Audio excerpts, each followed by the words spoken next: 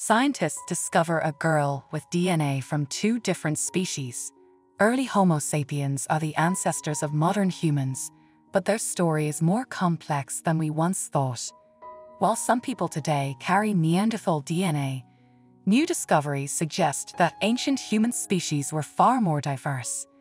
One of the most remarkable finds was the remains of a young girl with parents from two different species, one a Neanderthal and the other from an entirely separate branch of the human family tree. This discovery changed our understanding of how ancient humans interacted. We now know that Neanderthals, who went extinct around 40,000 years ago, weren't the only ones to pass down their genes. DNA analysis has revealed that people of Eurasian descent still carry about 2% Neanderthal DNA, proving that Homo sapiens and Neanderthals had children together. But they weren't alone. Another extinct species, the Denisovans, also contributed to the genetic makeup of modern humans. Denisovans were first identified in 2008 when archaeologists uncovered bone fragments in Denisova Cave, a remote site in Siberia DNA testing confirmed that these remains belonged to an entirely new human species. Denisovans lived as far back as 217,000 years ago, but their remains are rare. Only five viable specimens have been found. That's why a recent discovery was so significant. One of the remains belonged to a hybrid individual whose DNA was a mix of Neanderthal and Denisovan ancestry. This groundbreaking find has reshaped our understanding of human evolution, proving that interbreeding between different species was more common than we ever imagined. Crossbreeding between species can be a complicated process. Some species can successfully reproduce, like Neanderthals and Homo sapiens, whose mixed offspring were fertile. But not all crossbreeding works this way.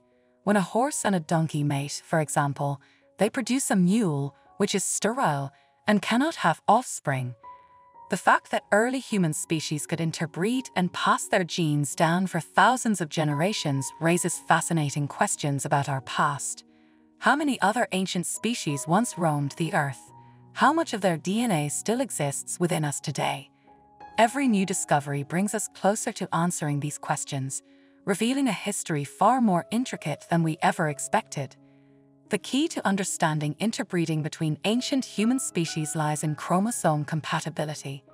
Some species, particularly primates with similar chromosome structures, can produce fertile offspring. This knowledge led researchers to suspect that Denisovans may have interbred with other early human species. However, for years, there was no direct proof, only speculation.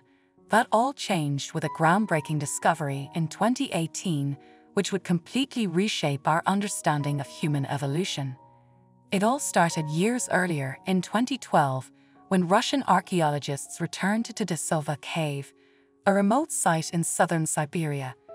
While searching for more evidence of ancient human species, they unearthed thousands of tiny bone fragments.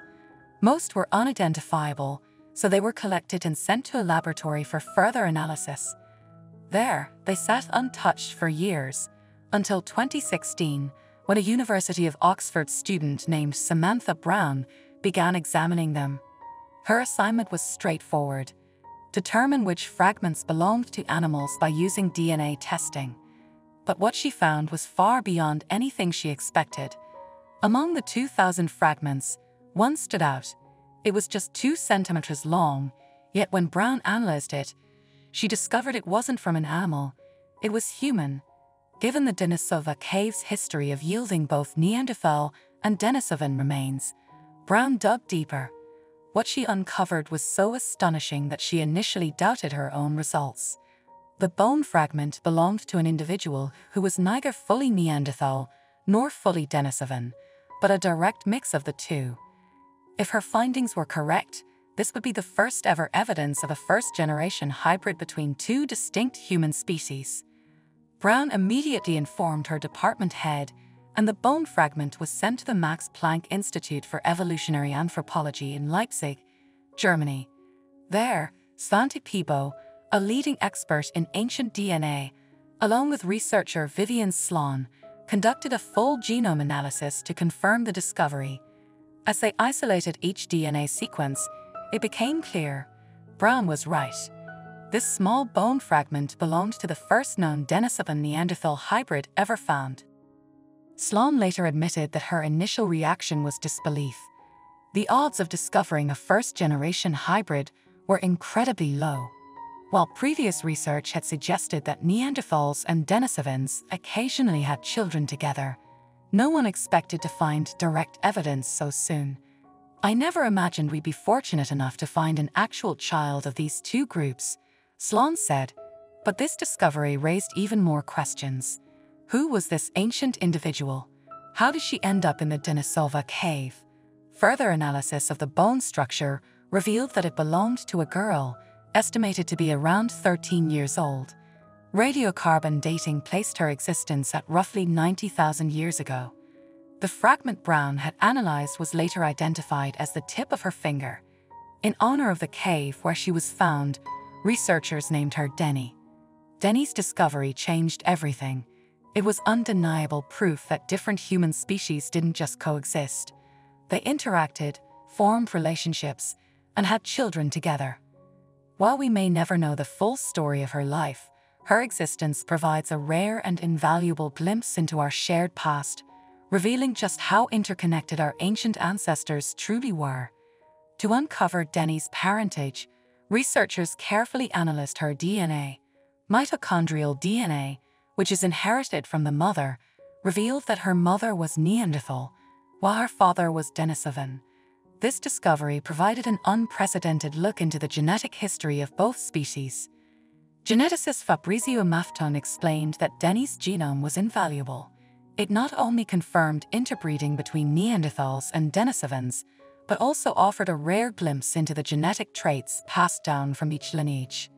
Given the groundbreaking nature of this find, the research team conducted multiple tests to confirm their results. I thought they must have made a mistake, recalled geneticist Svante Pääbo. To be certain, they sent the bone fragment to the Francis Crick Institute in London for further analysis. Population geneticist Pontus Skoglund verified the findings and stated confidently, They nailed it. There's no uncertainty at all. Scientists were initially skeptical because discovering a first generation hybrid of two extinct human species was incredibly rare. While evidence of Neanderthal and Homo sapiens interbreeding exists, no first generation hybrid between those two species has ever been found. Yet here was Denny, proof that Neanderthals and Denisovans not only coexisted but also had children together. Skoglund later described the discovery as a mix of excellent science and a touch of luck. He predicted that Denny's story would quickly become a part of textbook knowledge. But while her genetic origins were now clear, the circumstances of her life remained a mystery. How did her Neanderthal mother and Denisovan father meet? Some researchers believe these ancient groups were more mobile than previously thought, with Neanderthals moving across vast distances rather than staying in one region for thousands of years. Others suggest that Denny may have been part of a mixed Neanderthal Denisovan community, which could explain why so few purely Denisovan remains have been found. As geneticist Benjamin Harris noted, the number of pure Denisovan bones we discovered can be counted on one hand.